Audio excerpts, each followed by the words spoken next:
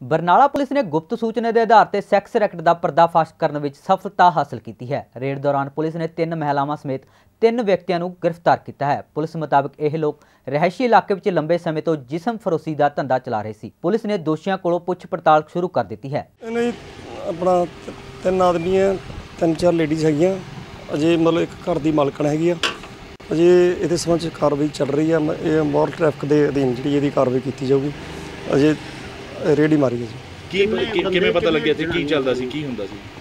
ਇਹ ਜਿਹੜਾ ਜੀ ਆਸ ਪੜੋਸ ਦੀ ਕਾਫੀ ਚਿਰ ਤੋਂ ਸ਼ਿਕਾਇਤ ਸੀ ਵੀ ਜਿਹੜੀ ਇਹ ਇੱਥੇ ਇਹ ਧੰਦਾ ਕਰਦੇ ਆ ਗਲਤ ਧੰਦਾ ਚੱਲਦਾ ਗਲਤ ਬੰਦੇ ਆਉਂਦੇ ਜੀ ਉਹਦੇ ਸੰਬੰਧ ਦੇ ਵਿੱਚ ਜਿਹੜੀ ਆ ਕਾਰਵਾਈ ਕੀਤੀ ਜਾ ਰਹੀ ਹੈ ਕਿੰਨੇ ਬੰਦੇ ਤੇ ਕਿੰਨੀਆਂ ਜਨਾਨੀਆਂ ਫੜੀਆਂ ਗਈਆਂ ਅਜੇ ਤੱਕ ਤਿੰਨ ਜਨਾਨੀਆਂ ਤੇ ਤਿੰਨ ਬੰਦੇ ਰੌਂਡ